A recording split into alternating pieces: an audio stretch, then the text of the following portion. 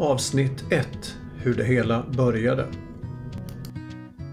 Det är ju det här det handlar om, eh, gaserna i systemvätskan, vilka problem det ger och vilka lösningar man kan få på det. Och det här är ju någonting som har dykt upp de sista 30-40 åren. Det vi tittar på det är ju den här, att det är ju en 300 år gammal teknik som vi har ändrat i grunden de sista 30 till 50 åren. Eh, tidigare så hade man inte något större problem med det. Man hade egen panna, man eldade som tusan, ibland kokte det. Man hade öppen expansion, krukan ut på taket eller skvallerrör ner till panncentralen. Och det bygger ju på att eh, alla vätskor som kokar kan inte innehålla någon gas. Nu har vi förslutit alla anläggningarna. Tidigare så fick man det här korrosionsskyddet och det bara därför det blev kallt ute och då började man elda. Man behövde aldrig tänka på det. Nu med den nya tekniken så har det ju satts ur spel. Och då ser vi bakgrunden och framtiden på det här. Va?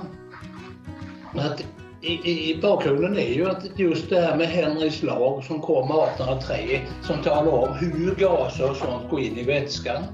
Och den kom ju därför att de hade ångpannor och sånt som exploderade på grund av det här. Eh, den här har man sen glömt bort och den finns inte med längre i utbildningen vad som händer.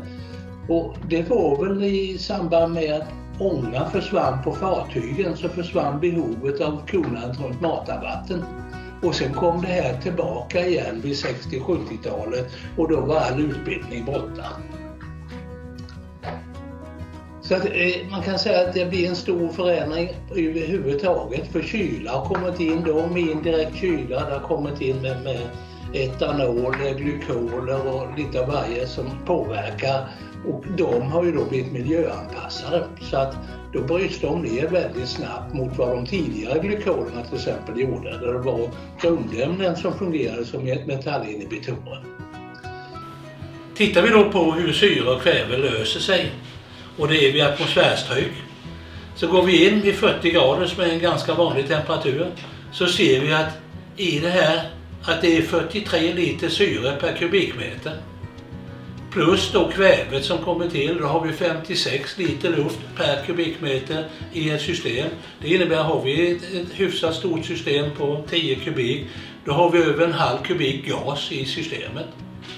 Det, det gamla systemen som är borta, där vi hade upp en expansion där gasen kunde sticka ut, där vi hade höga temperaturer som drev ur gasen, det finns inte längre utan vi har byggt in de här problemen om man ska titta på det här med, med vatten, enkelt är det är bara att ta ut ett, ett, glas med vatten och så en stor spruta, suga upp och då kan man se vad som händer.